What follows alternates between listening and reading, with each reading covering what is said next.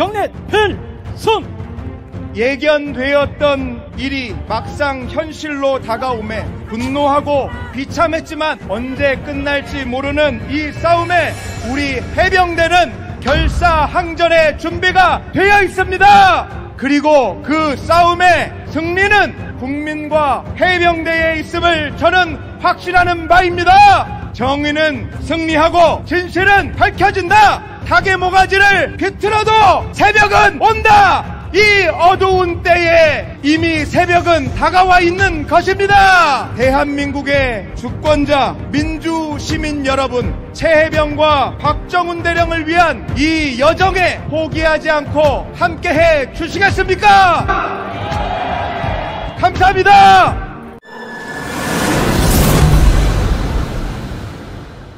해병 경례 필승 안녕하십니까. 저는 해병대 예비역 연대 회장 정원철입니다. 대한민국의 애국 시민 여러분, 이곳에 자리하신 여러분이 진정으로 이 나라를 사랑하는 애국자십니다. 이 좋은 날 나라를 위한 충정에 거리로 나와 함께 해주심에 해병대 예비역의 한 사람으로서 깊이 감사드립니다. 지금까지 우리 해병대 예비역들은 간절히 바라고 또 바랬습니다. 순직한 후배 최해병을 편히 보내줄 수 있기를 유족들의 이루 말할 수 없는 고통이 이제는 봉합되고 치유될 수 있기를 올곧게 사명을 감당한 박정훈 대령과 그 가족에게 더 이상은 고통이 가해지지 않기를 그리고 땅에 떨어진 해병의 긍지를 되찾을 수 있기를 그것이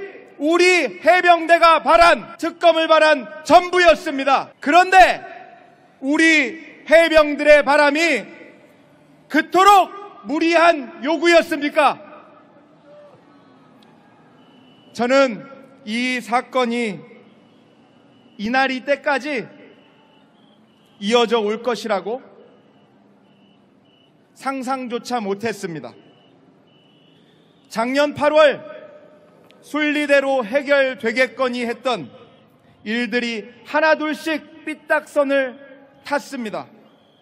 책임을 지고 물러나겠다던 임성근이 사단장으로 복귀하였고 오히려 정직하게 수사를 한 박정훈 대령이 집단항명 수계로 몰리었습니다. 젊은 해병의 안타까운 희생이 책임지는 사람 없이 이대로 묻혀버리는구나. 75년 해병대 역사상 이토록 부끄러운 순간이 어디 있었겠습니까? 우리는 후배의 비극을 외면할 수 없었고 모든 짐을 지고 가는 박정훈 대령을 홀로 둘 수 없었습니다. 그것이 우리 해병대 예비역 연대가 결성된 이유입니다. 작년 연말까지만 해도 임성근 사단장 하나 잘랐으면 온 나라가 시끄러울 일이 없었습니다. 그러한 사안을 윤석열 대통령께서 지금까지 키우셨으니 자기 팔자를 자기가 꼬았다는 요새 말로 지팔 직권 아니겠습니까? 지난 28일 간악한 국민의힘의 반대로 해병대원 특검법이 부결되고 나서 윤 대통령의 개인 전화로 결정적 순간마다 이종섭 전 장관 등과 통화한 수사 외압의 정황이 쏟아져 나왔습니다. 그래서인지 어제 대통령실에서 최혜병 순직 이후 대통령이 두 번 관여했음을 시인하면서도 위법이 아니라는 새로운 궤변을 늘어놓으며 국민을 기망하고 있습니다. 이종섭 도주 대사 쇼에 이어 새로운 국민 기망 쇼가 시작되었습니다. 정부 여당의 국민 기망 쇼에 단계별 대응할 것을 국회의장님과 민주당을 비롯한 야당께 당부드립니다. 첫 번째, 22대 국회 원 구성에 한시도 지체해서는 안 됩니다. 저들에게 통신 기록 증거 인멸 시간을 벌어주는 것입니다. 두 번째, 국정조사 추진으로 진실에 더 가까이 가야 합니다. 누가 순직과 수사 외압 죄를 지었는지 실체적 진실을 국민께 보고 드려야 하는 것입니다. 국민의힘이 안 받고는 못 빼기게 해병대원 특검을 대차게 밀어붙여 주십시오! 세 번째, 해병대원 특검을 통해서 최해병의 넋을 기려주시고 유족의 아픔을 이제는 치유해 주셔야 합니다.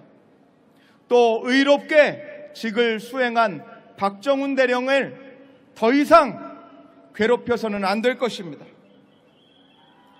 또한 국군 장병의 헛된 희생이 없어야겠습니다. 이것이 국민의 명령입니다.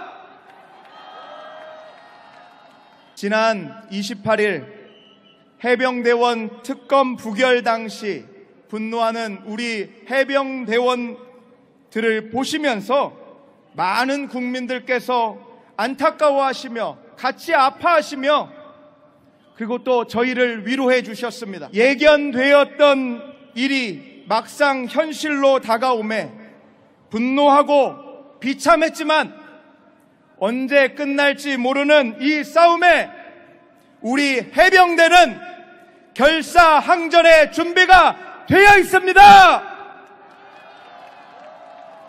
그리고 그 싸움의 승리는 국민과 해병대에 있음을 저는 확신하는 바입니다. 정의는 승리하고 진실은 밝혀진다. 닭의 모가지를 비틀어도 새벽은 온다! 이 어두운 때에 이미 새벽은 다가와 있는 것입니다! 대한민국의 주권자, 민주시민 여러분, 최해병과 박정훈 대령을 위한 이 여정에 포기하지 않고 함께 해 주시겠습니까?